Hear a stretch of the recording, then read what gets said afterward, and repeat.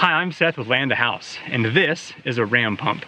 It's a water pump that requires no fuel or electricity to pump water uphill. In this video, I'm going to show you what happens if there's not enough back pressure in your delivery pipe pushing down on the ram pump. Let's head over here to the setup and I'll show you what we've got. My water source is a bucket that has about three feet of head pressure and give or take one foot of hydrostatic pressure. It's coming down a 15 foot long drive pipe made of PVC to a half inch ram pump. And I've got just a, a, quarter inch delivery pipe for this example. Usually on my pumps, I've got a half inch output. Comes up and I've got a ladder here that goes up to 17 feet. And that is gonna be our testing grounds for back pressure on the pump. So what is the concept here? If you have a certain amount of head pressure, it's going to make a certain amount of pressure in the pump.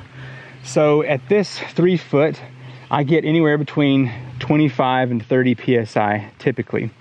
Um, it's a pretty good bit of pressure and it has the potential to push water up somewhere around the 21 foot mark. And so the 17, we do have an output, but it's not really fast.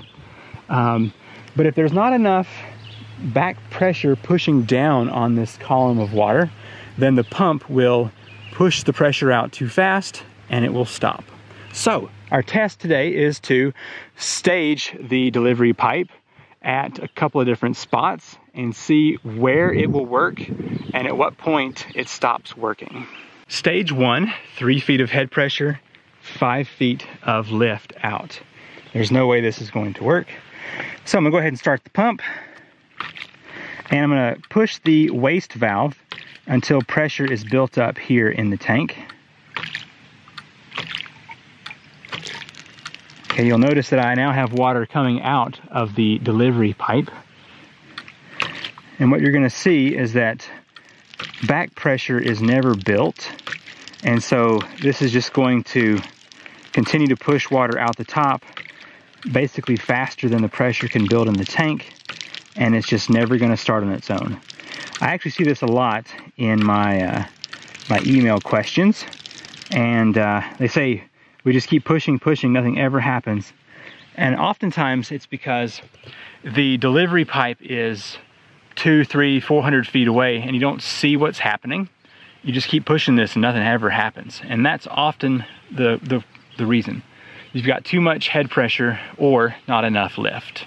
Round two is at eight feet for the delivery pipe.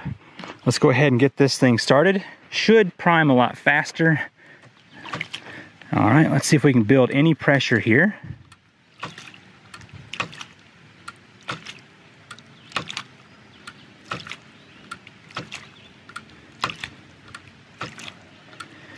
Okay, I'm hearing water pouring out of the pipe up top.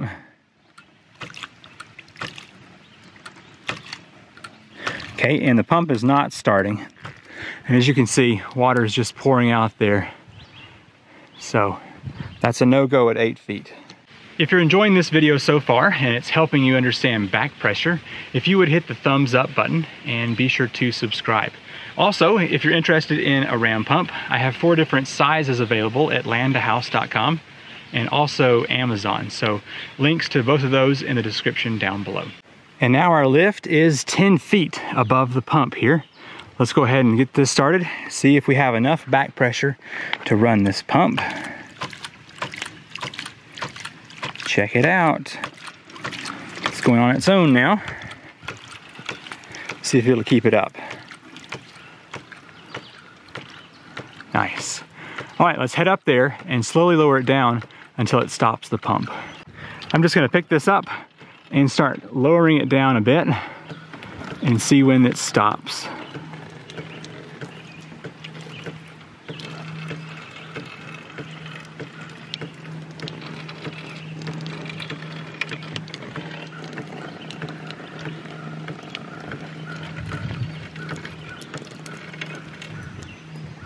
There we go.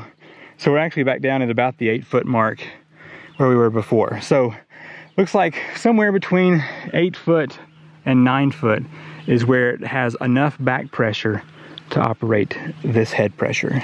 The ram pump typically works on a ratio of one to seven of head pressure in to lift out, which means if I were to increase the height of that bucket by one more foot, I could lift another seven feet up in the air.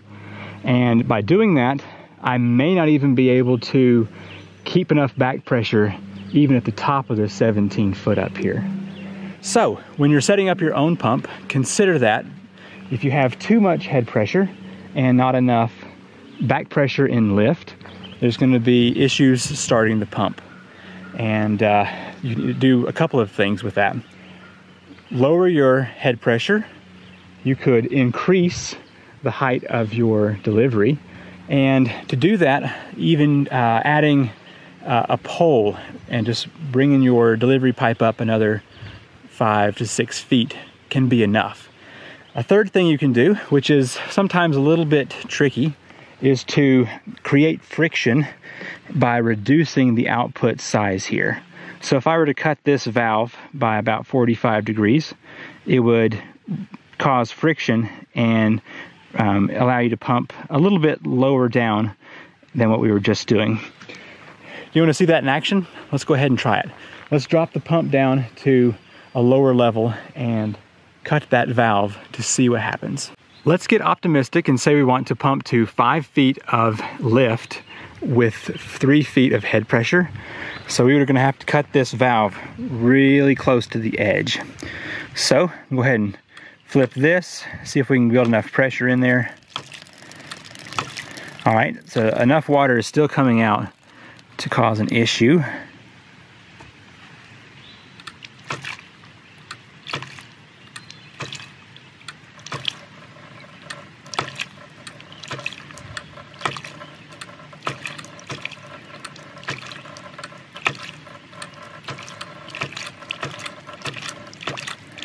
All right, it's close, but I think we got it.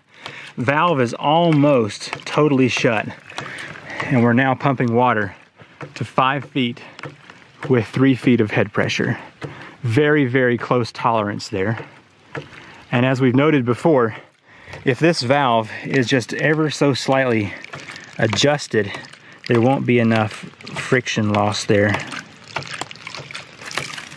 Yeah, see, it just burst a lot of water out and that's going to cause the pump to lose pressure.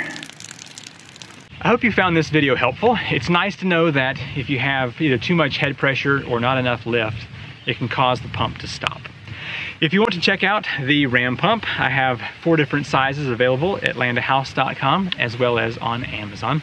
And uh, do hit that thumbs up. It helps tremendously on my YouTube views and be sure to subscribe.